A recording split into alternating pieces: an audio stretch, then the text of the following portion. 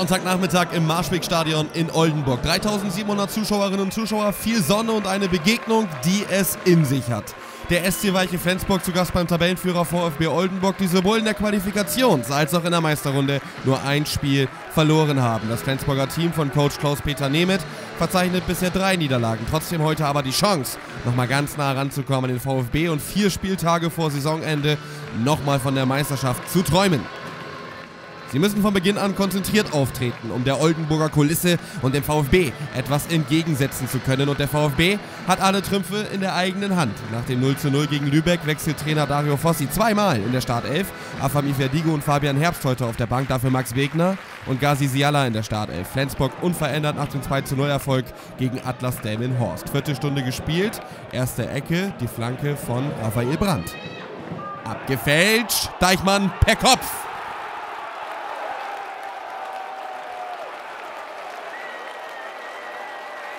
Zweites Tor für den 1,86 Meter großen Deichmann, groß geworden in der Jugend des HSV.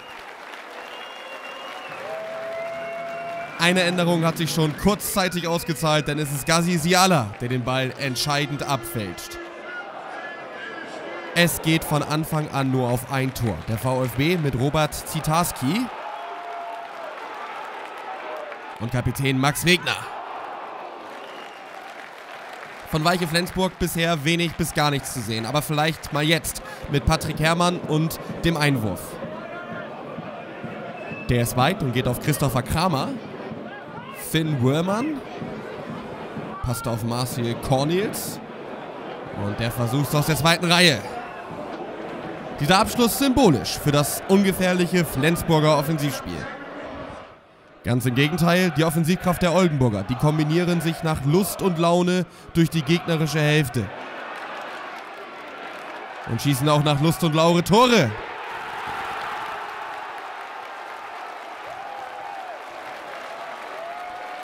Aditula mit seinem sechsten Treffer. Er ist der beste Torschütze des VfB in dieser Saison.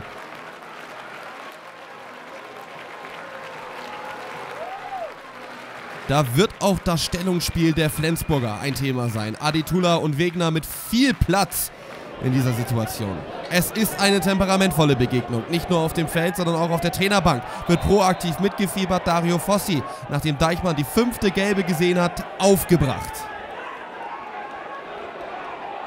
Fossi holt sich ebenfalls eine gelbe Karte ab und versteht die Welt nicht mehr. Halbzeit im Topspiel und tobende Trainer, tolle Tore und viel Emotion rund um den Fußball aus deiner Region gibt's bei KickTV. Wenn du nichts verpassen willst, dann abonniere unseren YouTube-Channel, ring the bell und lass ein Like da. Das ist nach der folgenden Szene auch nicht mehr ganz so schwer. Raphael Brandt mit der Ecke. Jo, das habt ihr richtig gesehen. Die hat er direkt reingehaut. Die können die Bälle heute auch vom Bratwurststand reinballern. Heute gelingt dem VfB alles.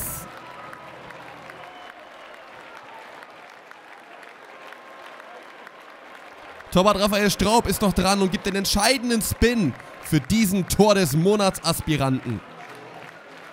68. Spielminute, Freistoß Oldenburg und rein ins Glück.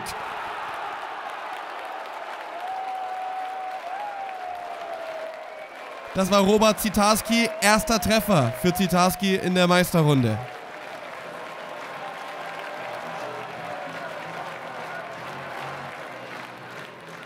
Unten links löst er sich von seinem Gegenspieler, der überhaupt keine Anstalten macht, ihm zu folgen. Aus Flensburger Sicht geht es hier nur noch um Schadensbegrenzung. Hermann mit dem Freistoß. Kommt der Ehrentreffer. Nein, denn jetzt ist Schluss. Der VfB schickt den direkten Konkurrenten auf die A7 und macht einen gewaltigen Schritt in Richtung Meisterschaft. Oldenburg nur mit 8 Punkten Differenz Spitzenreiter und obwohl Weiche Flensburg ein Spiel weniger hat, scheint die Meisterschaft nicht mehr nehmbar. Wir hören beide Trainer. Ja, dass man strebt vielleicht nach den Titeln, das steht ja außer Frage. Aber wir wissen ja auch, dass es noch andere Mannschaften gibt, die eine hohe Qualität haben. So, und wir werden natürlich nichtsdestotrotz alles versuchen, um am Ende auch eine Vizemeisterschaft äh, zu erspielen, weil auch das ein großer Erfolg ist. Also äh, die Jungs, Jungs haben alles gegeben, haben auch eine gute Runde insgesamt gespielt, aber äh, es gibt halt Tage, da ja, klappt es nicht, da läuft es nicht, so wie es heute war. Wir haben heute zu viele Fehler gemacht und dann muss man das auch akzeptieren. Aber und, wir haben schon eh mit der Mannschaft schon sehr lange darüber gesprochen, dass Druck nicht immer negativ sein muss. Ähm, die großen Mannschaften, mit denen wir uns jetzt nicht vergleichen wollen, aber haben das äh, jede Woche. Und ähm, wenn sie das ummodeln in positiven Druck, äh, kann man über sich hinauswachsen. Und das machen die Jungs. Nächster Termin zum Über sich hinauswachsen am nächsten Sonntag um 14 Uhr gegen Teutonia Ottensen.